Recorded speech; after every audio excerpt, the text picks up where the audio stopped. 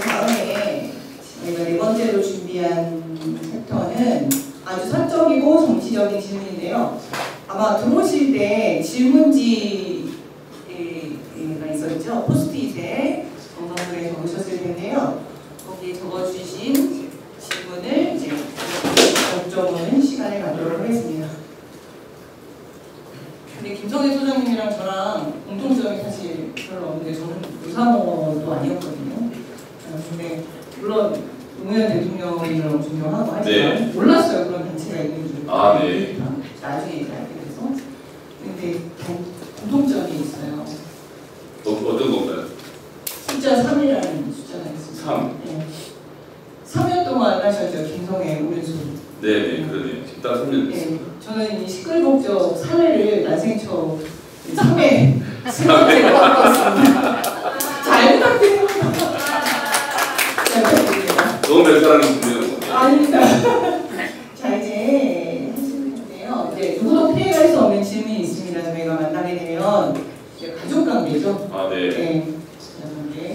가족 관계. 조금 전에 말씀드렸던 이제 어머니, 아버님 돌아가신 어머님이 계시고요. 저의 가족은 저랑 아내 그리고 이제 20살 된 딸하고요. 고3인 아들 이렇게 네 식구 단촐하게 있습니다. 어, 킬러 문학 때문에 전문 용어로 결박친 그 고3짜리 아드님이시죠. 아, 네. 그 시험을 어떻게 하려고 저런지 이제 진짜 화가 나갖고 막 밥을 막 정, 진짜 화를 냈더라고요.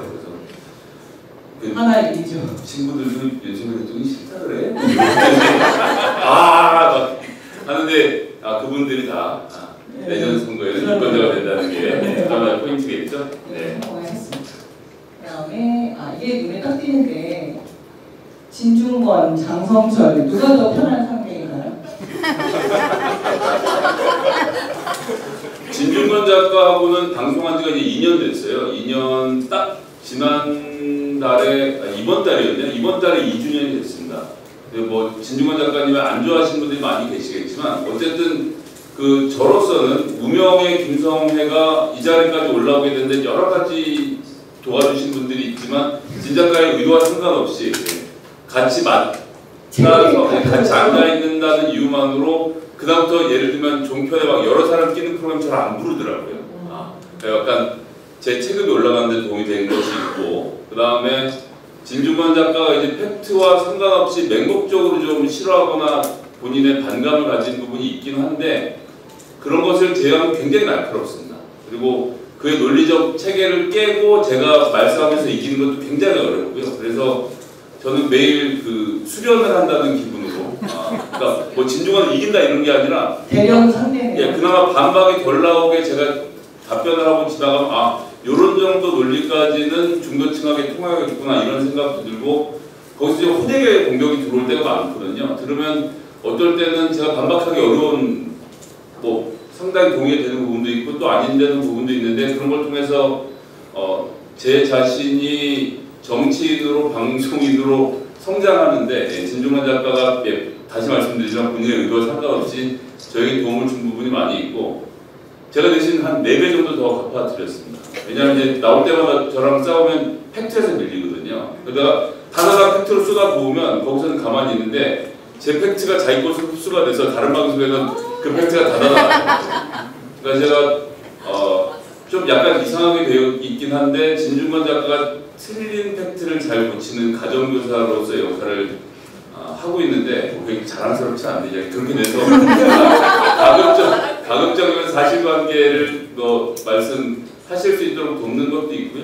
그래서 어, 지금까지 서로 전화번호도 모르고 회식 말고는 밥 한 끼를 먹어본 적이 없는 사이지만 그 방송 안팎에서는 비교적 많은 대화를 나누고 많이 배우고 있습니다. 어쨌건 이 지금의 포지션이 달라지긴 했지만 논객으로서는 여전히 예, 영향력이 있는 분이니까요.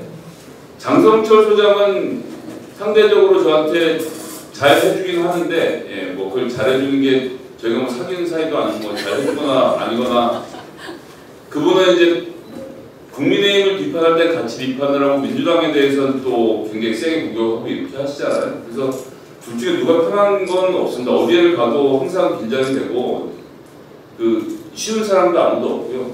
뭐 제가 누차 드리는 말씀이지만 저는 그 방송을 앞에 있는 그 사람을 제가 이겨먹으려고 하는 게 아니라 그 방송 들으시는 분들에게 민주당의 입장은 제 입장을 잘 설명드려야 된다라는 어려움을 갖고 접근을 하기 때문에 누구라고 쉬워본 적도 없고 누구라고 그렇다고 크게 어려운 적도 없어 좀 건방진 얘기를 들리실 수도 있겠지만 어, 방송 섭외할 때 상대 패널이 누군지는 저는 물어보진 않습니다. 그냥 뭐 아무나 자신 있다. 힘든 건도 하니까요. 아, 근데 이번 관계라기에 역시 기부의 페이크 같아요. 처음에는 진중권이 그냥 스파링 상대다 이렇게 사실은 갈 것 같았는데 알고 보니 진중권이 또 우리 김성회 소장님한테 팩트를 이렇게 쏙쏙쏙 한 6개월 동안은 쳐다도 안 봤어요. 어, 저 무슨 뭐 조국과 무슨 이재명과 막 그래서 거의 뭐 하여튼 아예 대화가 없었는데 그래도 2년 동안 매일 얼굴을 보는데 그렇게 모른 척하고 지낼 수는 없잖아요. 그렇죠. 그렇습니다. 네. 그다음으로 넘어갈까요? 아, 이거 여쭤보고 싶은데 말씀이 너무 길어지실까봐 짧게 하겠습니다. 할아버지에 대해 말씀해 주세요. 아 제가 방송에서 했던 얘기는 저희 외할아버지 말씀하시는 것 같은데 예, 그 황해도가 고향이시고요. 황해도가 고향이시고 19살에 단신 월남하셔갖고 결혼하신 상태에서 단신 월남하셔가지고 어 군대에 입대를 하셨어요. 그래서 이 6.25에 참전을 하셨고 소대장이 돼서 이 황해도가 수복이 됐을 때 가족들을 다 김해로 피난을 데리고 내려가셨었고 그 뒤로 갑종이라고 하죠. 그 병사 출신으로는 드물게 어, 삼성장군까지 중장 육군 중장까지 진급을 하셨던 좀 예, 예, 잘, 잘 없는 분이셨습니다. 근데 이제 80년 전두환 쿠데타 때 그 전군 이 지휘관 회의를 하는데 저희 할아버님 그때 당시 군수사령관인가 하셨었는데 그 회의에서 비상계엄을 전국으로 확대하는 것에 대해서 군인이 정치 참여해서 해서는 안 된다는 요지로 반론을 펴시다가 예. 그 다음에 이제 강, 이, 강제 예편을 당했죠. 예, 뭐, 그 예편을 당하시고 야인의 삶을 그 뒤로 쭉 사셔서 저한테는 뭐 삶의 이정표가 되시는 분이고 어, 저희 아버지 바쁠 때 저 데리고 산으로 등산도 많이 다니시고 할아버지처럼 살아야 되겠다라는 생각을 하게 만들어 주신 분이시고 예, 그 강직함에서 많이 배우기도 했고요. 저한테 이제 자랑스러운 분이십니다. 그리고 군인 가족이라는 점을 어필을 해서 예, 어, 군인 가족의 중도 보수에게도 예, 네 그렇습니다. 아 진짜 멋진 분이시네요. 그다음에 아 이거 또 피해갈 수 없는 질문인데요. best friend 다섯 명 이름 대기. 어, 네, best friend 다섯 명. 일단 저희 팀 김성회가 여섯 명이라서 걔네들 그냥 한 팀으로 묶어서 팀 김성회로 하고요. 거기가 제가 국회에서 있는 기간 동안 오랜 기간 동안 만나면서 교류하면서 가장 잘 마음도 맞고 제가 생각에 정예라고 생각하고 배짱도 맞는 친구들 이어서 어, 저랑 지금 이제 정치적 미래를 함께 만들어가는 거라 저랑 가장 친한 친구들이고요. 그리고 이제 중학교 때 친했던 대호 뭐 이렇게 있고 조금 전에 말씀드린 우리 담임 목사님 어, 김기대 목사님 에, LA 있는 평화의 교회에서 목사님을 하고 계시는데 그분하고 또 LA 도사무에서 친하게 지냈던 철호요. 다 그리고 미국에 예, 현재 계신가요? 아 그분은 미국에 계시죠. 네. 그리고 제 아내 아, 제가 일까지 3일밖에 안 하긴 했지만 best friend 숫자가 가장 많으신 네, 후보자십니다. 아, 우? 이런 말 하면 안. 친한 자신입니다. 네. 네, 다섯 명 되라고 해서 아, 근데 대부분 있는데 안 되시는 건지 원래 없으신 건지 다 못 되시더라고요. 사실 좀 불안해요. 되고 나서 또 잡혀가고 나니까. 그 다음에 이번에 이성과 열정, 자신에게 더욱 필요한 것은 어느 것이라고 생각합니까? 그 이제 방송에서 보여드리는 모습은 사실 너무 이성적인 측면이 있긴 합니다. 근데 그건 뭐 제 자신의 그 이성을 극대화해서 이야기를 할 수밖에 없는 상황이기도 하고 나가서 뭐 소리 지르고 흥분해 봐야 예. 당장 시원하게 보시는 분들이 있겠지만 중간에서 보시는 분들은 저거 안 되니까 소리 지르는구나라는 인상을 줄 수밖에 없기 때문도 있고요. 또 제가 제 진영 유튜브도 많이 나가고 뭐 이동영 TV라든지 김용민 뭐 강성범 다 나가는데 쟤는 이렇게 나오기만 찬물을 꼈냐라고 화를 내신 분들이 많은데 예. 누구라도 한 사람은 꼈는 게 좋겠다는 생각에서 꼈는 거거든요. 욕은 먹지만 저는 그게 어쨌거나 강원이 강량이 조절이 돼야 되는 문제라고 생각하기 때문에 다른 점에서 이런 것이 있다라고 설명드려야 된다라는 강박에 어쨌든 우리가 이겨야 되니까 아, 라는 생각으로 좀 너무 이성적으로 말씀드리는 게 있는데 그러다 보니까 너무 이성적으로만 보, 보일 수밖에 없는 기회가 없으니까 제 자신이 너무 이성적이 돼가는 것이 아닌가라는 걱정을 좀 하고 있는 거예요 사실에서 열정을 좀 키울 필요가 있을 것 같습니다. 이성과 열정 사이에서 고민하시는 것 같아서 네. 이런 질문을 사실 이건 제가 드리는 질문. 아, 네, 지금요. 두 가지 좋은 정치인은 이성과 열정이 다 필요한 것 같습니다. 더욱더 열정적인 사- 사람으로 저희 본- 본능이 깨어나면 열정이 나오는데 네. 저희 당원들과 많이 같이 하시다 보면 열정이 아마 별로 나, 네. 네, 깨어나실 거라고 그렇게 생각합니다. 네. 그다음에 아이고 보고라이 얄밉다라는 평가에 대한 본인 생각은 네, 그렇습니다. 독고다이는 글쎄요, 저는 뭐 사람의 충성, 조직의 충성 이런 얘기들 하는데 어, 정치인이라고 하면요, 그러니까 자기가 함께 정치를 하고자 뜻을 세우고 같은 무리를 만들어갈 수 있다라고 생각합니다. 하지만 어떤 힘 있는 분에게 기대어서 그분의 후방으로 내가 좀 잘 돼봐야지 생각하는 것은 옳지 않은 길이라고 생각합니다. 그래서 뭐 예를 들면 이번 대선 기간에 이재명 후보의 당선을 위해서 전 정말 열심히 일했습니다. 예, 뭐 거기에 대해서는 뭐 방송이 일이냐라고 하시겠지만 그것도 그나름의 여러 가지 보충이 있고 하여튼 제가 나갈 수 있는 모든 장소에 나가서 민주당이 갖고 있는 모든 것에 대해서 설명드리려고 제 아침마다 또 제 아침 방송도 따로 하고 이재명 대표의 공약과 정책을 설명하는 일도 하고 방송마다 나가서 사람들하고 싸우고 붙고 어떻게든 우리가 이기기 위한 활동도 했었고요. 그 3월 9일 선거가 있던 마지막 주에는 사실은 열이 37.5도까지 올라가는 상태가 됐는데 코로나 찔러보니까 음성이 나와서 코로나가 아니었던 것 같은데 여튼 그런 상태에서 하루에 두세 시간밖에 못 자고 죽을 힘을 다해서 했는데 그것은 제가 이재명 후보가 우리의 후보였고 우리가 대선에서 이겨야 했기 때문이거든요. 그건 이재명한테 충성하는 거는 좀 다른 문제죠. 그러고 나서 이재명 후보의 정치적 진로가 어때야 되느냐라고 했을 때 저는 저의 입장이 있는 것이고 이재명 후보를 지지하시는 분들은 또 정치인들의 입장이 있는 건데 저는 그게 같아질 수는 없다고 생각하고 같은 분도 있지만 제가 꼭 같을 필요는 없다고 생각하거든요. 이제 어떤 분들이 보시기에는 독고다이로 보이는 건데 글쎄요 저는 정치적 리더십을 갖고 앞으로 나가려고 하는 정치인이라고 한다면 그러니까 당원들의 뜻에 거스른다고 말씀드리진 않겠습니다. 나는 이렇게 생각하는 정치인이다라고 말하고 거기에 동의하시는 분들을 같이 가는 거지 모든 당원의 평균치에 맞춰서 제 생각은 여러분들 평균과 똑같습니다라고 말씀드릴 수는 없다고 봅니다. 그렇게 하- 그렇게 하기보다는 정치인이라고 하나 한다면 자기 주장이 있고 그게 일부에서 욕을 먹더라도 일부가 따라온다면 그들과 함께 세력을 만들고 도모를 해서 우리 세력이 더 커지는 걸 국리를 해야 되는 거죠. 그러니까 모든 국민을 위해서 정치하겠다라고 저는 한 번도 말한 적이 없습니다. 모든 국민을 위해서 어떻게 정치합니까? 각자 입장이 다르고 계급이 다르고 처한 조건이 다른데 어, 보수적인 분들보다는 제가 함께 해야 된다고 생각하는 계급이 있고 그룹이 있는 건데 그런 분들을 위한 것을 하는 게 정치인인 거고 모든 분들을 위해서 사랑을 베푸는 것은 뭐 종교인이 하거나 다른 분들이 하실 수 있는 일이라고 생각해서 그런 점에서는 조금 독고다일 수 있고 조금 얄미울 수 있는데 예, 저는 제가 이런 사람이다라고 설명드리고 저를 지지하시는 분들을 모으고 있는 중입니다. 그게 안 보이면 저는 실패하겠죠. 실패하면 역사의 기억들로 저는 사라지는 거고요. 또 좋은 다른 분이 나타나서 정치를 이끌어 가실 테니까요. 제가 꼭 성공해야 된다고 생각하지는 않습니다.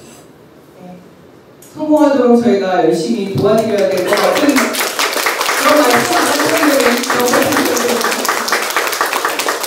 보고다이는 다른 말로 하면 소신 있는 정치가가 될 거고 얄밉다는 말은 그만큼 영리하게 싸울 줄 안다라는 말로 이해해도 되겠죠? 예, 근데 이제 적절하게 타협하고 우리들과 함께 가야죠. 그럼요. 당연히 당연히 그랬다고 생각합니다.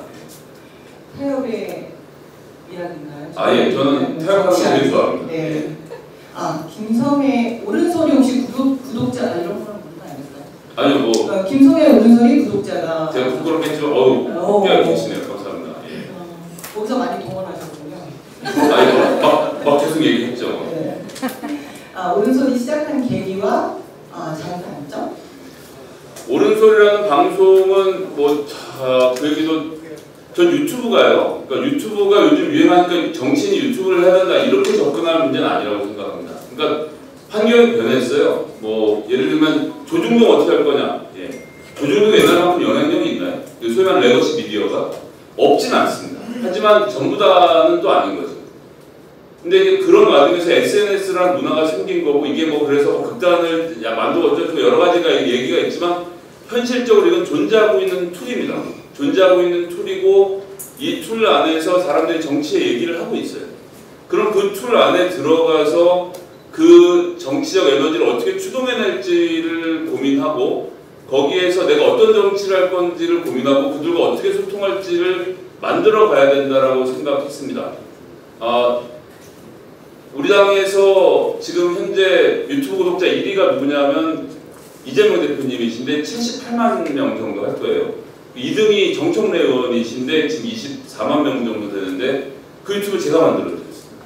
제가 그 소통을 하려면 이제 라이브의 시대가 오고 그러니까 페이스북도 그렇고 유튜브도 그렇고 이런 쪽으로 사람들이 쫄려서 이걸 볼 수밖에 없다. 이거 지금도 준비해서 하셔야 된다라고 해서 제가 만들어 드렸고 지금 원외에 계시면 손혜원 의원도 제 기억에는 구독자 한 30만 정도 되는데 그 유튜브도 제가 만들었습니다. 이렇게 해서 더 이상 언론의 눈치를 보고 언론에만 기댈 필요가 없고 우리는 우리의 목소리를 낼 수 있는 창구를 만들어야 된다. 라고 해서 제가 만, 제가 만들었고 어, 유튜브에는 마이크가 중요하다고 해서 제가 마이크 비싼 돈 주고 사서 시스템을 정치적으로 갖춰서 시작했던 것도 그렇고 아, 그래서 다시 원래대로 돌아와서 민주당에서 지금 정청래 의원 다음에 구독자가 많은 게 예, 김선혜 의원들 오. 23만 5천 명 정도 되는데 제가 중간중간 자꾸 뭐 아, 얄미운 소리 예, 하시네요. 민소리가 또 요즘 또 이제 아, 김남국은 코인 문제 관련된 다른 시장을 말한다고 해서 그런 걸 엄청 취소하고 나가셔서 그러니까 좀 그건 조금 전에 말씀드린 대로 저는 제 얘기를 하고 저를 그럼에도 불구하고 지지해 주신 분들을 모아서 제 정치적 세력을 키워가는 것이 제 꿈이니까 그래서 그렇게 해서 하고 있는데 이게 쌍방향으로 소통하면서 어쨌거나 유튜브라는 환경을 통해서 정치적 힘을 모아간다고 한다면 정치인들 여기에 적극적으로 저는 개입해야 된다라고 생각하거든요. 그러니까 진영을 나누는 정치다라고 쉽게 설명할 수 있는 부분이 아니에요. 나, 나 앞으로 SNS가 가져온 폐해에 대해서 여러 가지로 논문도 나오고 설명도 되겠지만 여하튼 정치적 에너지가 모여있는 것은 사실이지 않습니까? 그럼 그 에너지 써야죠. 라고 생각하고 시작을 했고요.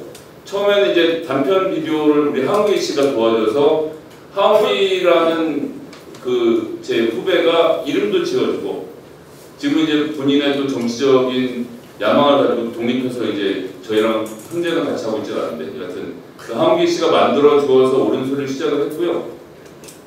그러고 나서 2020년 총선에서 열린민주당 비례후보 10번을 출마했다니 떡 떨어지고 나서 어, 어떻게 앞으로 해야 되냐에 대한 인생 고민하고 있을 때 저희 손혜원 의원이 어, 김 대변인 아침잠이 없잖아 당신은 할 일도 없고 아침에 어, 아침에 방송해 이렇게 말씀을 주셔서 옳은 소리를 피해서 어, 구독자를 한번 모아보자라고 생각해서 김어준의 옳은 어. 뉴스공장이 끝난 시간 맞춰서 네. 어, 제 방송을 그 뒤에서 이어붙이는 걸로 하고 요즘 들어서 패턴은 5시에 일어나서 9시까지 4시간 동안 뭐 신문 보고 양치질하고 뭐 등등 신문기사 정리해서 스크랩을 하고요. 그 기사를 가지고 하루에 서너 꼭지씩 꼭지를 만들고 그 꼭지를 제 나름의 방식으로 여러분들에게 해설해 드리고 그래서 옳은 소리를 보시는 분들에게는 신문을 읽는 문해력을 키워서 내가 내 머리로 생각할 수 있도록 좀 더 도와드리는 역할 뭐 자꾸 조중동을 보여주냐 그러시는데 조중동이 여당의 사정 가장 잘 알고 대통령실의 사정 가장 잘 알거든요. 그래서 그런 내용들을 포함해서 어, 이야기를 듣고 나누고 또 증문즉답이라고 코너를 만들어서 여러분들의 질문을 가감없이 받고 답변 드리고 있습니다. 정말 저도 아 그래서 돈도 벌고 있고요. 네. 저도 지금 이제 소개되셨다고 하셨는데 지난 1년 전부터는 좀 많이 바빠져서 저도 못 들었는데 거의 앞에 2년은 거의 뉴스공장 다음에 바로 넘어가서 아, 하루도 안 빼놓고 들은 것 같아요. 감사합니다. 들으면서도 아, 재미없는 일 아닌 걸왜 보고 있지? 이런 생각. 근데 역시 그거는 콘텐츠의 힘이었다고 생각을 합니다.